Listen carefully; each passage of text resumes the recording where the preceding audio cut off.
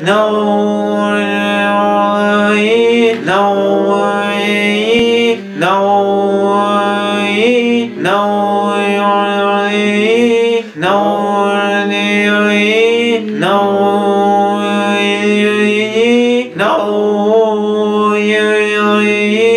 no, no,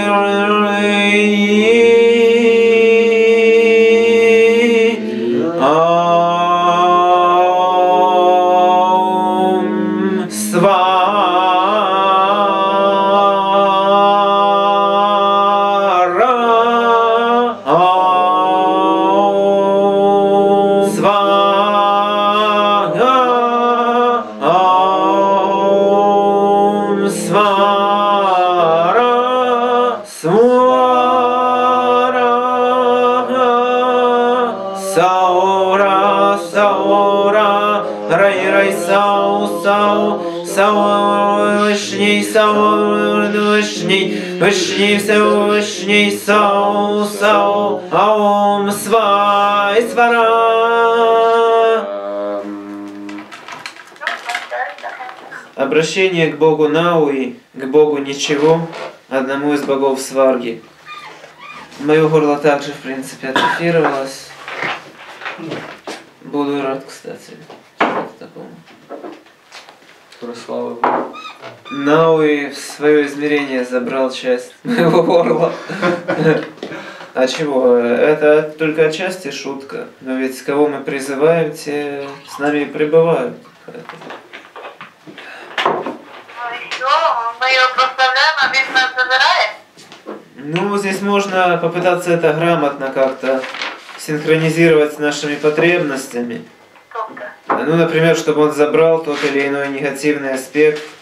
И вот э, лично я часто использую мантры Науи э, при обрядах экзорцизма, когда мне какую-то тварь надо с человека вышвырнуть. Особенно, А мені, особенно, треба те, що я теж е, рахую негативним, що мені мішає теж. Помните, мы рисовали ту скотину, которая там дочке вашей шкодила? А, Вот, в принципе, вот таких тонкоматериальных всяких мерзостей. И там, допустим, каких-то, которые вы можете подозревать от той э, черномагической соседки. То есть, в принципе, науи можно найти место в хозяйстве. А, Однако, ну, я не советую как бы вам в повседневную практику возвести э, использование данной мантры. Скорее, Э, лучше сосредоточить силы на Саура Манкарае. Это намного важнее, чем все остальное, в принципе, что есть во Вселенной.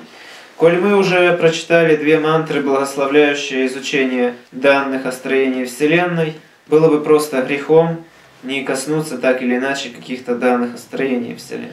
Братья Шановни и праведная Митродатта, как вы на этот счет скажете? Замечательно. Это хорошо. Предоставлю некие короткие относительно данные, относительно путешествия э, между реальностями. В Ведах описывается, что дравиды в научных целях построили более семи сотен мостов между э, разными далекими реальностями. Также известны эксперименты на построение переходов между уровнями. То есть, допустим, чтобы живое существо, живущее на уровне планет, могло на равных общаться с живым существом, живущим на уровне атома или на уровне галактики. А По этим темам есть какие-то вопросы или как? Э, Есть на нашей планете? Древние дравидские устройства? Э, Считаю, что есть. Во-первых, подозреваю, что должно быть во Львовских хранилищах. Во-вторых, подозреваю, что э, на месте э, главного Елеопольского храма э, где-то под землей должен сохраниться целый лабораторный комплекс этих штуковин. Ну, о чем свидетельствуют ведические тексты. То есть просто прийти, откопать. Ну и если они убьют все защитные механизмы, то можно пользоваться. Не, хотелось бы, конечно, лабораторию в этом. Гелиополис. Гелиополис. Гелиополис находится недалеко от Каира, сейчас это как бы пригород Каира. Под землей. Ну, это конкретно есть вот э, руины, раскапываемые руины Гелиополиса. Вопрос в том, что та лаборатория существовала 25 тысяч лет назад. Если точно 25, там 300, сколько-то еще лет назад. То есть получается, что очевидно на ней если э, то наскальное изображение галактики, которое под Кромлихом было найдено в Египте, э, датируется 18 тысячами лет, и оно там было чуть ли не на несколько метров занесено песком, то особенно в районе э, Каира я подозреваю, что там на метров 10-20 может быть песка всем городом. Ну, на той лаборатории. Километров? Метров, метров, извиняюсь, не километров. Нет, ты сказал метров, правильно. Да. Ну, как бы не знаю. Может больше, может быть. Может даже намного больше. А может и меньше. Как бы здесь э, пустыня очень непостоянное явление. Если ты знаешь, до Наполеона пирамиды тоже были закопаны в песок. Торчали только макушки и глаза сфинкса. Ну, их откопали. А вопрос относительно все ли искры сразу ли были. Есть так называемые три волны нисхождения искр в материальный мир. Конкретно в наше яйцо.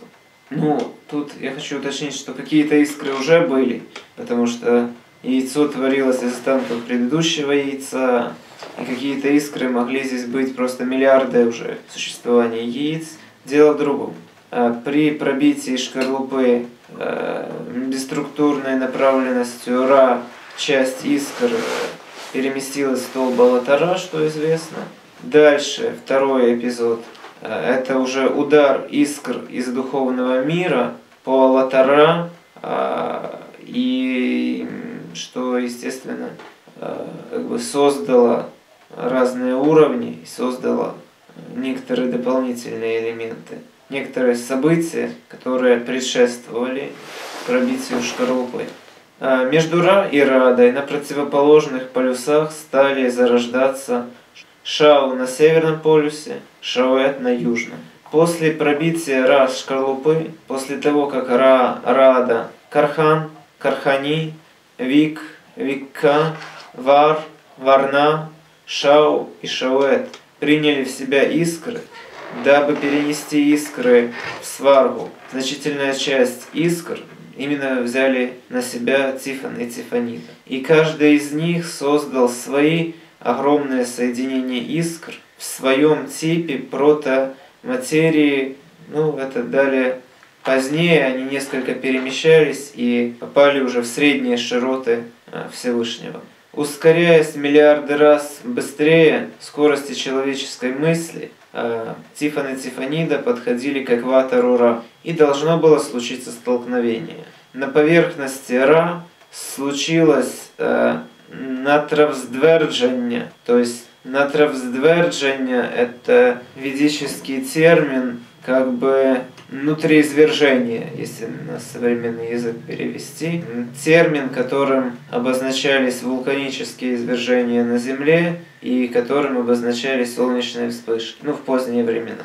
А В данном случае термин натравздверження э, относится к Ра, то есть получается э, из э, Ра случилась огромная вспышка и вырвалась тоже часть искр, которая пребывала в его теле. Э, Но учитывая одинаковую скорость э, движения Тифона и Тифанида и то, что Тифанида была немного задержана при смене вращения, натравздвержением, Тифанида следовала за Тифона, но не отставала от него. На э, то время Тифон спустился в средние широты южного полушария Ра. Вращение Тифона и Тифаниды все ускорялось и э, своей небывалой силой начало воздействовать на окружающую среду. Когда силы, порождаемые этим вращением, дошли до скорлупы яйца и ударили об нее э, с увеличенной силой, в том месте на скорлупе яйца э, было э, много искр, попавших в материальный мир, но не смогших удержаться возле Ра. Они э, оторвались и ударили э, по Тифону и Тифаниды, что столкнуло их к граням сварги, ну, верхней сварги, и, естественно, обусловило их спуск по плоскостям сварги. Заворот нейронов не случился. Все как бы я нормально объяснила или что-то детализировать или как? Да, А что- які це були іскри? Ну, искры, приходящие из духовного мира. Ну вони різнопланові були, чи е, вони ну, подібні були? Оце? Ну, а, смотрите, все искры одновременно э, гиперразноплановые и гиперодинаковые, потому что качественно мы, в принципе, все равны, однако у каждого из нас какой-то свой вектор, свои какие-то там идеи, и личностно каждый из нас неповторим. Поэтому, ну, я пока не могу ответить на ваш вопрос, потому что как-то, ну, не представляю, с какой стороны подойти к этой ситуации. Так, чтобы сказать, что они одинаковые или не одинаковые. Нужно иметь какие-то критерии, а получается, что все искры одинаковые і індивідуальне одновременно. Остання частина, що вони вдарилися об Тиффани и Тиффани? Получается, да, Тиффани Тиффанида как бы своими энергиями их сбили с э, верхней полусферы яйца, и они ударились от Тиффана и Тиффанида.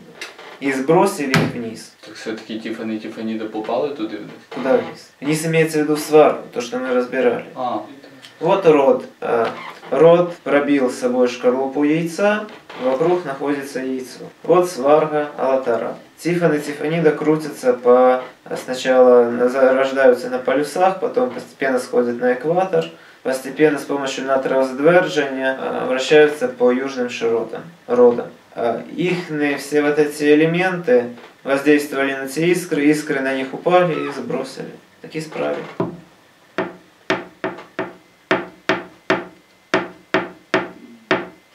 Ярославе, до вас можна? Да. Ярославе, що скажете? Нічого. Ярославе, а точно а, марвелівські сценаристи не з вас писали товариша Грута? Ні, не знаю. Не вірю.